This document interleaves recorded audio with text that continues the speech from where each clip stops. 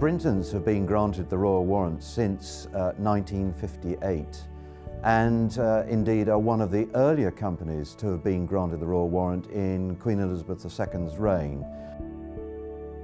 There are just over 800 royal warrants in use today. The Queen uh, has about 630 that she has granted. The Duke of Edinburgh has just over 40 that he's granted and the Prince of Wales has around 160. There is a legend which says, by appointment to Her Majesty the Queen, carpet manufacturer. So it can be assumed that Brintons have been supplying the royal household since 1958. Brintons, making the world a more beautiful place.